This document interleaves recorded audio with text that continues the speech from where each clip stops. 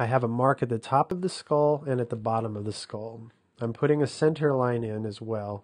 And if you take note of the drawing from the sides of the board, the center of the skull is not straight up and down with the sides of the page.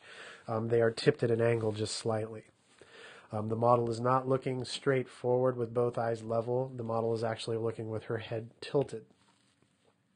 So the center line is going to be pivotal for me to keep all things in the face from straying away and leveling the head out. Um, our human ways want to make things orderly and stacked up. And because we look at people from straight forward, um, we have what is called the symbolic or the iconic viewpoint in our mind of what a head should look like. Um, most beginners will draw, regardless of where they are in the room, the straightforward face, with the eyes straight across from each other, the nose directly below, and so forth, regardless of how much tilt and pitch there is in the head, and regardless of what the viewpoint is of the model. Um, symbolic drawing is sort of an extension of being a child. Um, when we were kids, we maybe had an experience at drawing. We might have. Um, some people that didn't have any experience in drawing as a child won't touch it at all.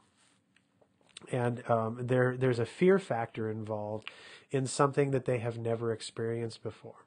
Um, and I'm only talking about some. Not everybody is like this. Uh, but without the experience, there's just uh, no desire to go in that direction and, and try that thing out. Now, going back into our drawing here, um, the skull shape that I made is not representative of the top of the skull. What it's representative of is the top of the face plane, um, the top of the hairline. There is still more skull going up beyond that point. Um, and what I've done here is basically created barriers for all of the fleshy space around the hair. Um, the model that I'm drawing now has very dark hair and very dark features.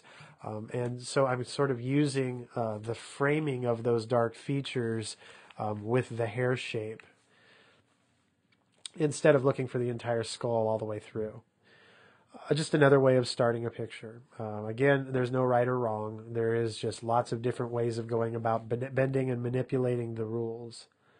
Um, and, and, that bending and manipulating here, I'm, I'm not taking the full skull into account but I am using an axis line. You can tell that I have the crosshairs here. I have a center line vertically on the face, and then I have a crosshair perpendicular from that that represents the space where the eye sockets are going to be placed and where the details of the eyes go.